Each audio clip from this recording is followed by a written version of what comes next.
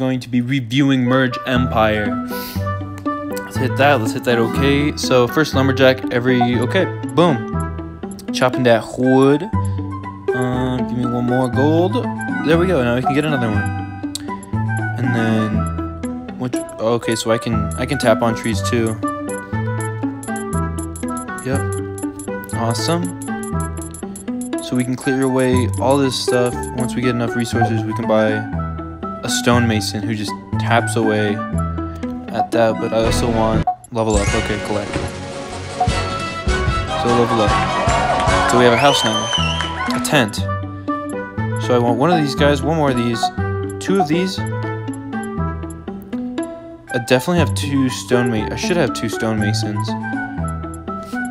Okay, but they're they're going hard. So one stonemason equals two timbers, or lumberjacks, whatever.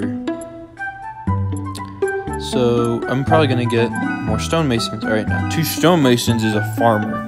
Level up. All right, what do we want? What are we at now? What are we at now? All right, we got a pretty decent house with a campfire next to it. Let's get a farmer then. Okay, so I get it now. Let's just get a crap ton of timbers then. And we'll turn them into stonemasons, turn those stonemasons into farmers.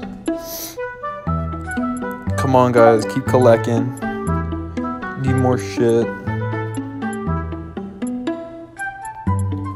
This, uh, this empire isn't gonna build itself.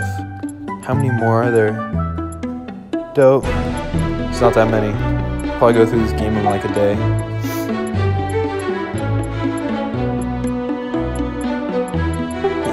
More.